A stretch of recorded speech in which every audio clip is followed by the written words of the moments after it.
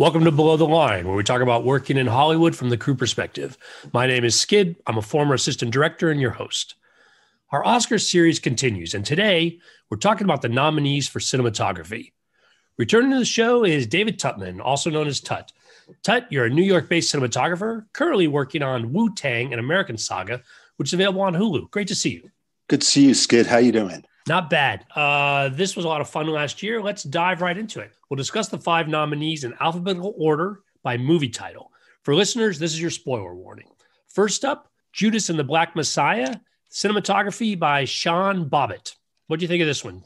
I really liked this movie. I found it overall entertaining and about a, a, a rather important story, uh, considering where we are as a nation right now. So I was uh, I was looking forward to it before it came out, and I found it entertaining and and I found it uh, particularly visually entertaining. I must say, I thought they used their wide aspect ratio really nicely. They definitely in, had a, a period-inspired look uh, that you know you th- you think about. It was shot digitally, like all of our nominees are this year, but uh, it it really did have an authentic kind of inspired filmic look to me. Great high contrast, kind of a an interesting green patina, which I I always enjoy heavy color grading, uh, really powerful wide shots, not a ton of close ups, but when they used them, they used them really well. Shot with Alexa large format LFs and mini LFs in 4K uh, with ARRI DNA lenses. I think Sean Bobbitt really did a nice job um, with what he called heightened naturalism and uh, big lights, modern day lights, Astera tubes he shot for the color grade, knowing that he'd do a lot in post production, and it really seemed to work. Hey, Dave, one thing you mentioned, green patina. I don't think I know what that refers to. Well, just uh, the notion there were there were times where the color green just really played in the movie, and I, I it's very true to period aside from anything, and the the burgeoning fluorescent lighting of the era. That green to me really plays, and it's always an interesting sheen. Uh, I try to favor it uh, my show's kind of period as well. And uh, I very much enjoy injecting that kind of green light into things. You know, the, the world is not monochromatic. And I think this movie really wants to explore that in certain ways. And you also talked about the sort of heightened realism. That's interesting because I also noticed something about this film where it felt like a conscious choice to sort of have things pop.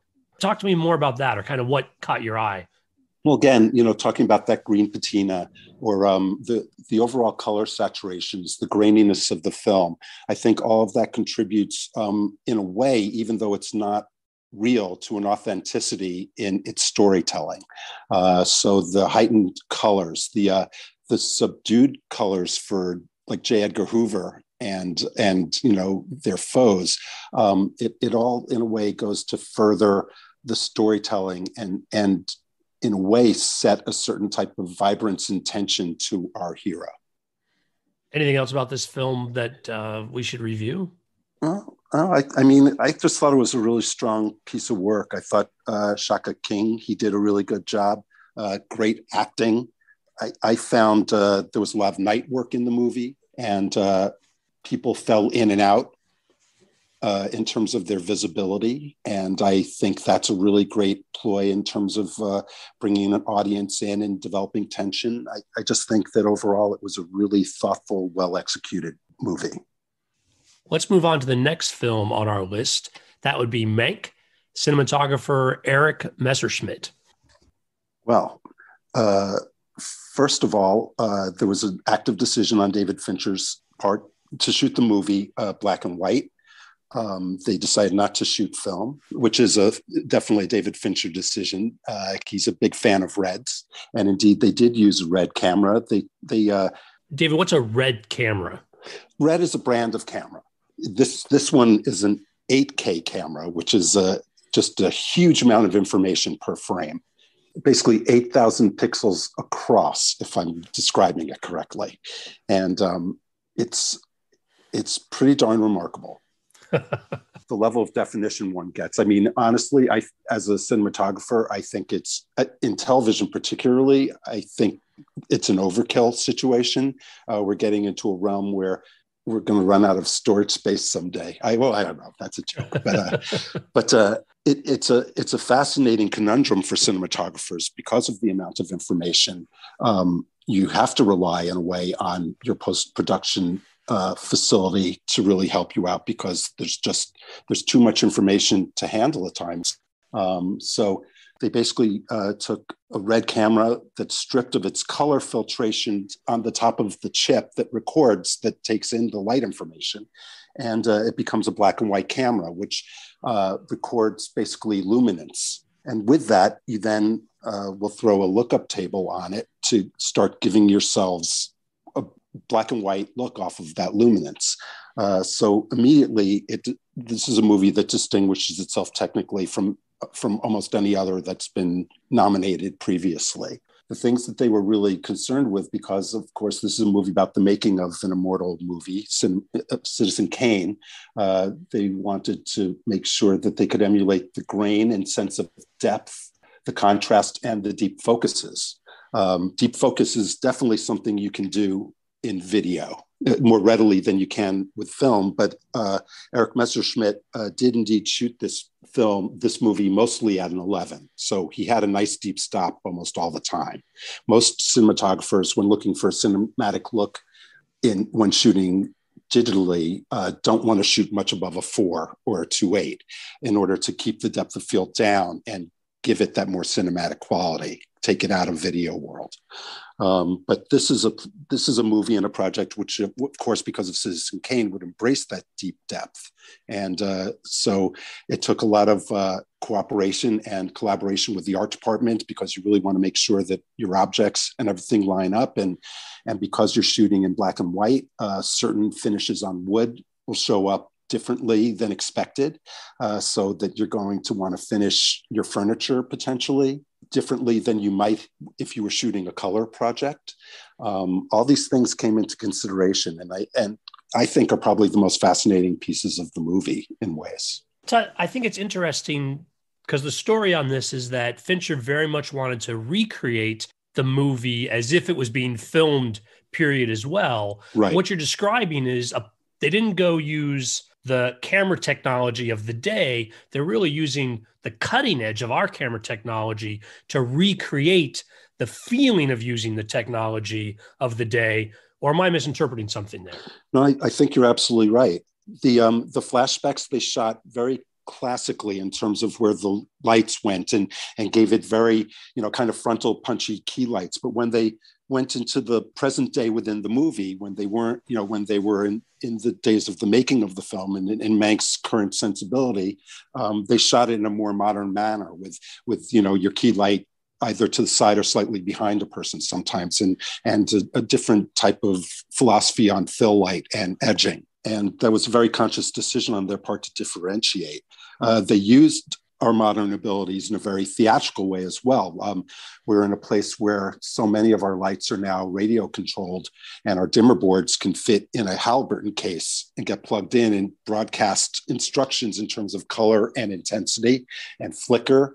And uh, and without a doubt, uh, this is a movie where they uh, during transition, some of the transitions were actually done on camera, fade ins and fade outs, and changes in intensity in various places in the lights. And, um, and that's a really neat game to play. You know, so it really celebrated modern technology while really trying to give it a, a very classic look, both lighting wise and editorially, it felt like. One of the most interesting scenes in the movie is uh, a walk through Hearst Garden, uh, which is uh, story wise done at night, but it was shot day for night. It was shot during the day. And um, it was done that way mostly because, again, these are all, um, all of these movies cost under $40 million to make. You know, from 5 million to 38 million were the budgets listed in my research. And uh, Mank was a $25 million movie. So this walk through the garden, if it done at night, they couldn't afford to do it logistically and budget budgetarily. So by doing it day for night, uh, they brought the costs down and made it logistically manageable. But the amount of fill light that was necessary in order to make it look balanced properly for nighttime was so great that the actors were squinting all the time. So they had special contact lenses made for the actors. Oh, wow. uh, basically sunglass contact lenses, so that they could walk through this field of 20Ks just blasting at them uh, directly and, uh, and get through the scene uh, with open eyes. That's one of my favorite stories about the movie. and I did not realize that this movie was made for 25 million. I would have almost guessed that was at the high end of the scale on this, but it sounds like they made a lot of decisions that actually, again, conserve the movie. I mean, you're using modern technology and approaches, but you're also trying to create what is a small or intimate film, and shooting day for night would not be unheard of in that time period. Yeah, it's it's a it's a nifty. It's def, exactly. It was done a lot in those days, and uh, a nifty idea. Probably very tough to do, uh, and, you know, I've I've done a very little of it, but but uh, I happily was. Uh, it was a scene in the woods, and and that's a that's a really great place to go day for night. So. well, next on our list is News of the World cinematographer Dariusz Wolski. This is actually the movie that I've seen most recently, and is the highest budget of our nominees at $38 million, uh, which, when you think about it in terms of what we know in terms of 200 million dollar movies and and all that stuff. It's really uh, pretty tame. It's a I thought a strikingly beautiful movie, beautiful broad landscapes, while uh, really being a movie that's shot in terms of character in close up. I thought it was a beautiful balance of getting out there with with the int- intimacy of our characters. The movies, uh, The Searcher and The Assassination of Jesse James, were both inspirations. They both come through really beautifully in terms of intercultural tension and just uh, beauty of cinematography, aside from anything in vistas. And I, I, must say that I thought it was Tom Hanks' best performance in a really long time. I really thought he was uh, the least Tom Hanks in a way of any of the f- movies I've seen him in of late. I, I, very much enjoyed this movie. It was shot with the Arri Alexa large format and mini large format movies with Panavision vintage 65s and uh, Angenieux zoom lenses. Um, I'm a big fan of the Angenieux zooms as a cinematographer. I really think they hold their own and they're lightweight, um, other than the big 10 to 1. But they enable a movie which was tremendously handheld and steady cam to go with a variety of focal lengths very quickly. I imagine that it was a very arduous and physical uh, job. There were mountainside shoots and in crevasses on hillsides and real real mountain climbing to get gear up. And and knowing that you could rely on a couple of lenses to really cover your bases must have been a huge consideration. And i think it worked very well. Dariusz Wolski had with the art department uh, t- took 100 kerosene fixtures uh, and uh, many of them uh, were electronically converted with LEDs into a 12 volt system that could again be radio controlled and flickered to create the mood that's so beautifully conveyed in all the interiors and exteriors at night. Uh, they feel tremendously practically driven. Uh, you really feel as if the lanterns and the fires are truly the lighting source. And I think for the most part, they are at the very least spiritually, and I'm sure there's some supplementation, but uh, it's really artfully done on the dark end while also being a movie that isn't afraid to shoot their actors in full sun and beautifully so. I, I thought technically it took the range of a, of a digital camera and really explored it as best one could. That was really well done. It's very interesting to talk about the range of scenes on this. You're right that there's these full daylight, but there's also a lot of night and dark scenes as well. Um, a scene like where they have those crowds at night, that's got to be an enormous undertaking I think it's always tough to keep things visibly invisible, is how I would put it, at least in terms of the background. That's always, to me, a very delicate art in, in night lighting. It, it, shows how important it is to uh, have a, a, great collaboration with your production designer, with the art department, uh, especially in this day and age of, of, video shooting. The cameras are so sensitive. Uh, you know, the, the Alexas are basically an 800 ASA camera but I'm shooting right now with a 2500 ASA based camera, if I care for it to be. And uh, the amount of sensitivity, the dynamic range is really something. In video, it's particularly important to protect your highlights, whereas in film, I'd say you're really worried about protecting your downside. And, and these were all films that, um, that had a downside um, that was really nicely stretched and explored by the digital world, but it never lost control of the brightness.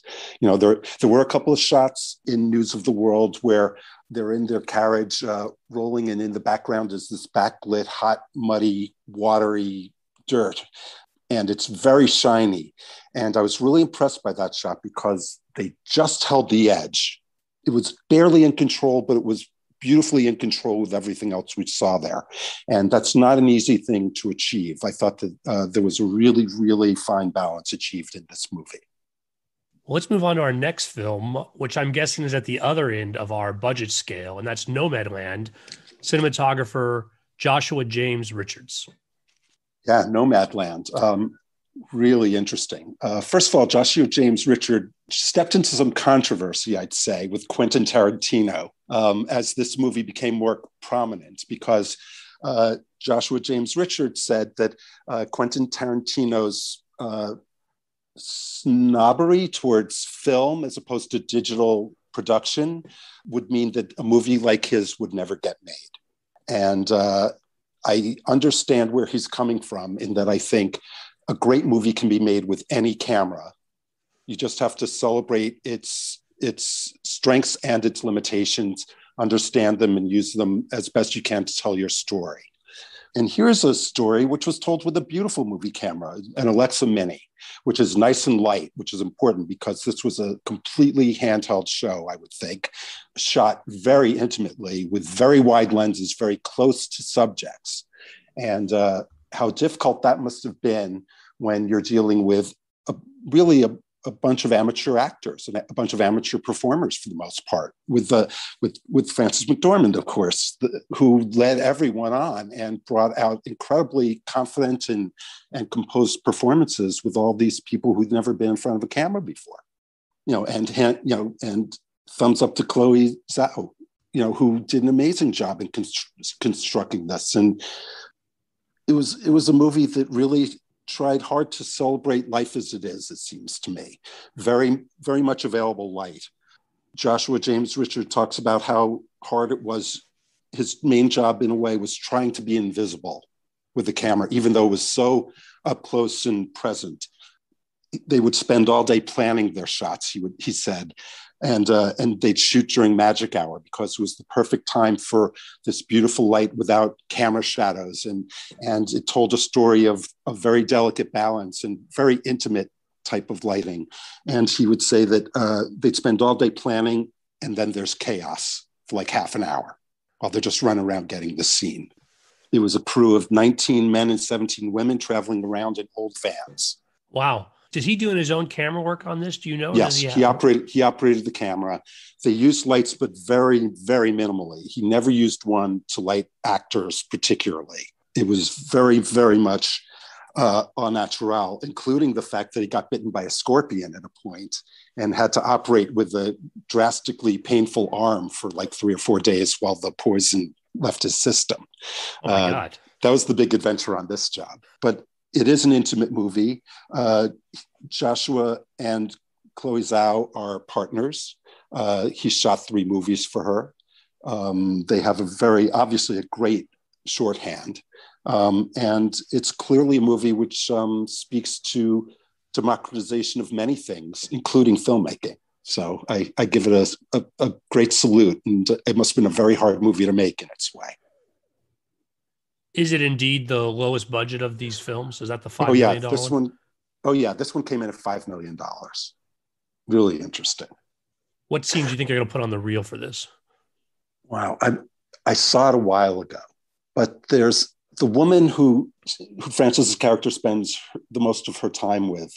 There's a scene where uh, she talks about her cancer diagnosis, which is just so amazingly honest and straightforward and accepting and you'd never really think that there's a camera literally a foot from her nose.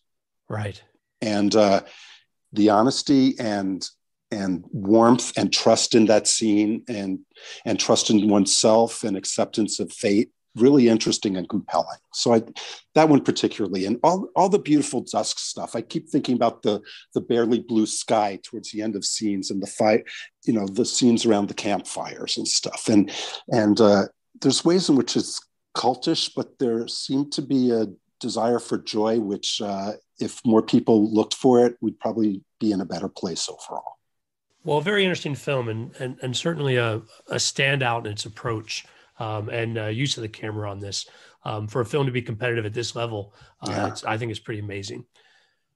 The last film on our list is The Trial of the Chicago Seven, cinematographer Phaedon Papamichael.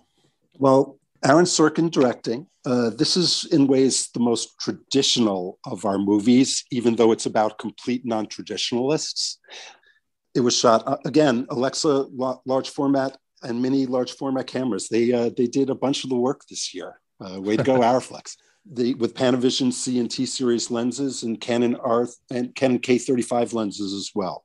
They went for anamorphic lenses to cover the full sensor I think part of Phaedon uh, Papamichael's philosophy was um, he wanted to make sure to deliver visual variety within the movie. Uh, things I've read about the movie and and uh, accounts of the experience that people had on the movie is is Aaron Sorkin is a very celebrated writer and he's very concentrated when directing on the writing and those who are speaking. But I think Phaedon Papamichael uh, wanted to make sure that within the within the world of editorial that there were places to go to help build the emotion and the intensity and the relationships that are needed because it wasn't the Chicago one, of course, it's the Chicago seven. And, and the tricks to filming groups while getting the intensity of a single individual and stuff. I think this is a movie where that really fell on the cinematographer, and uh, and it's an interesting uh, examination of a very big part of cinematography. We're often really consumed with cinematography with the look of a movie and think about lights. But in ways for anyone in the camera department, I'd say the most important thing a cinematographer in ways has to think about is the cut. How is something going to cut? And I urge all my focus pullers, all my operators to think about that as well when shooting, because um, you have to deliver something that's going to put the audience in the right place. And that is within the context of all these other images that have to come generally, unless you're making rope, and then you have two shots and you don't worry so much about that. But uh, this was a tricky movie. It's a trial movie, so uh, there is some sitting and standing, but it's mostly people sitting. And how to keep that interesting. Part of that, I think, was in the was in the lighting in a story like this.